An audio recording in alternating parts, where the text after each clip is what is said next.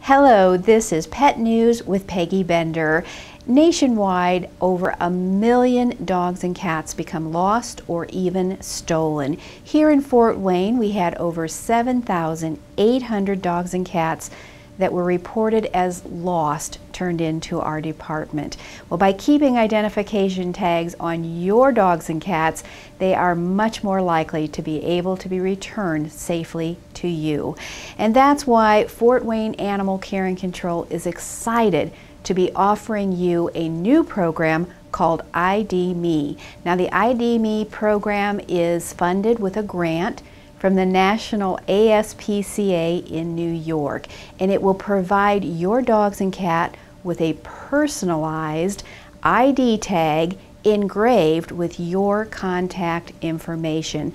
That way, anyone finding your lost pet will be able to return it directly to you without involving our shelter or any other lost and found program.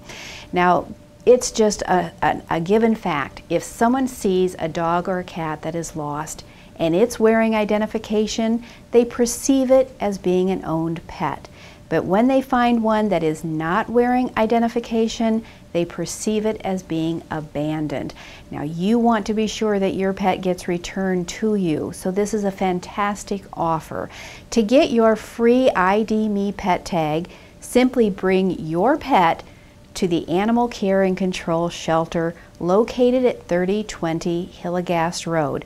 You can come any Tuesday through Friday between the hours of 11 a.m. and 5.30 p.m. and a tag will be engraved just for your pets. Now what else can you do to make sure that your pets are protected in the event that they should ever get away from home? Well, first of all, you want to be sure that you're not allowing your pets to roam freely through the neighborhood. You want to keep your dog on a leash so you know who your dog's coming in contact with at all times. And of course, your cats are just going to be much safer if they are kept strictly in the house. Another protection is by keeping your pets inside the home when you are away from home. And that way your pets will be here safely waiting for you when you return home. Don't keep your pets in a parked car. A parked car is a dangerous place for your pets when you're not there. Keep your pets spayed and neutered so they have less likelihood to want to get away from home. And of course, put locks on your gate. These are just a few tips that can help you to protect your pets. But stop by Fort Wayne Animal Care and Control for your free ID Me pet tag or visit our website for much more information on the program.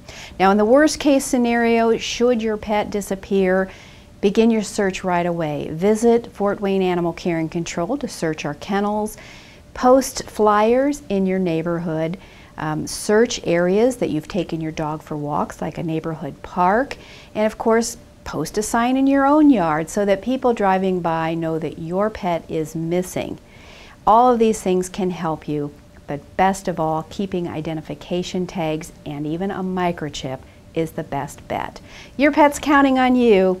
So do the right thing and put identification tags on all of your dogs and all of your cats. This has been Peggy Bender with Pet News.